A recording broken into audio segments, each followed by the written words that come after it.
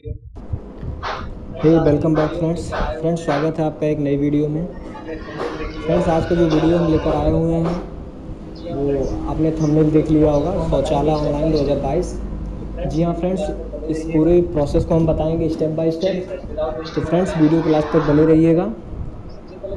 चलिए friends without wasting और time हम वीडियो को शुरू करते हैं।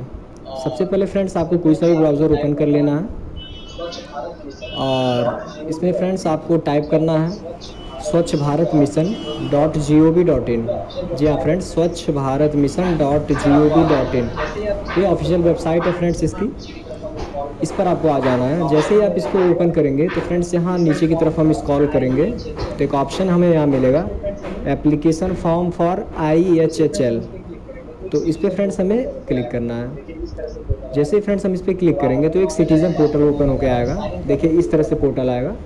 मोबाइल नंबर मांगा जा रहा है पासवर्ड मांगा जा रहा है साइन इन करने के लिए कह रहा है।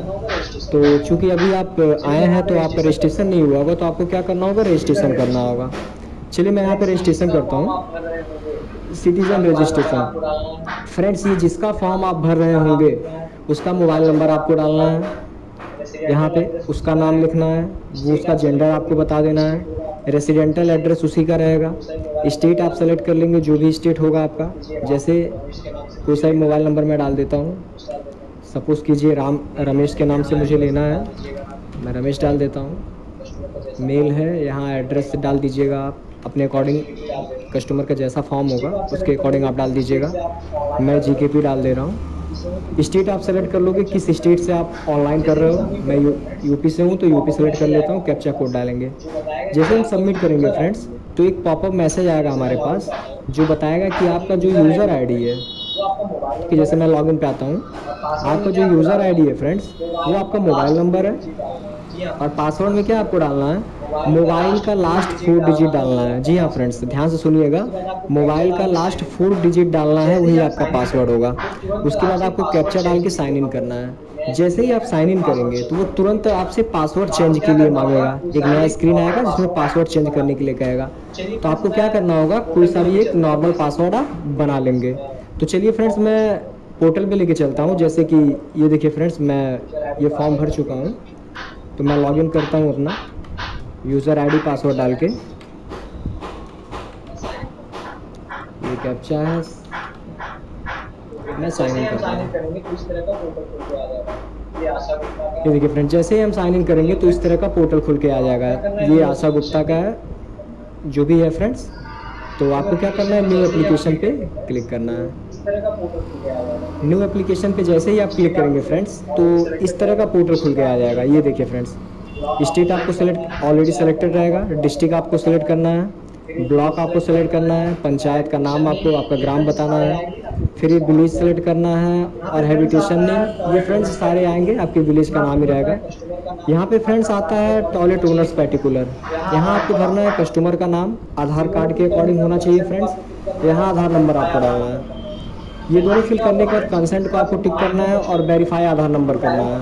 यहाँ पे क्या होगा फ्रेंड्स उसका जो नाम है कस्टमर का, वो डायरेक्ट आधार की वेबसाइट से वेरीफाई होगा। तो सारा डिटेल्स यहाँ पे आप सही भरेंगे, तभी आधार वेरिफिकेशन होगा, नहीं तो ये फेल बताएगा बार बार। उसके बाद फ्रेंड्स नीचे के ऑप्शन है? फादर्स नेम या हस्बैंड नेम डाल देना है जेंडर सेलेक्ट करना है। कैटेगरी में आपको एपीएल या बीपीएल का ऑप्शन दे रहा है फ्रेंड्स तो अब पोवर्टी लाइन होता है बिलो पोवर्टी लाइन होता है। तो ए में ही सारा फॉर्म यहाँ पे भराया जाएगा, क्योंकि बीपीएल वाला जो सिस्टम था, वो हटा दिया गया है। सब कैटेगरी में आपको सेलेक्ट करना है स्मॉल एंड मार्जिनल फार्मर्स ठीक, ये फ्रेंड्स सूटेबल रहेगा फार्मर्स के लिए। आईडी कार्ड टाइप में तो फ्रेंड्स आधार नंबर आप डाल दीजिएगा तो ऑटोमेटिकली ये फिल हो जाएगा। मोबाइल नंबर डालना है, आपको एड्रेस डालना है।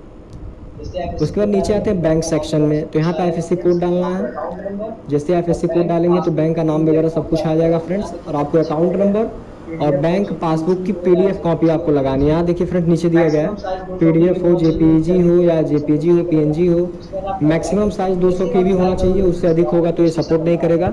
उसके बाद आपको अप्लाई कर देना जैसे ही आप अप्लाई करोगे फ्रेंड्स तो आपको एक रजिस्ट्रेशन नंबर आ जाएगा। उसके बाद आप आओगे यहाँ पे व्यू एप्लीकेशन पे।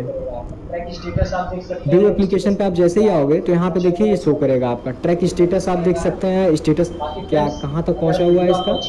देखिए फ्रेंड्स इस तरह का है? बाकी फ्रेंड्स अगर वीडियो आपको अच्छा लगा हो तो प्लीज़ वीडियो को लाइक कर दीजिएगा चैनल को सब्सक्राइब कर दीजिएगा। अगर कोई भी इशू आ रहा है फ्रेंड्स तो आप मुझे कमेंट में बताइएगा या फिर टेलीग्राम पे जुड़ के कॉमेंट कीजिएगा, आपकी पूरी हेल्प की जाएगी। Okay thanks for watching this video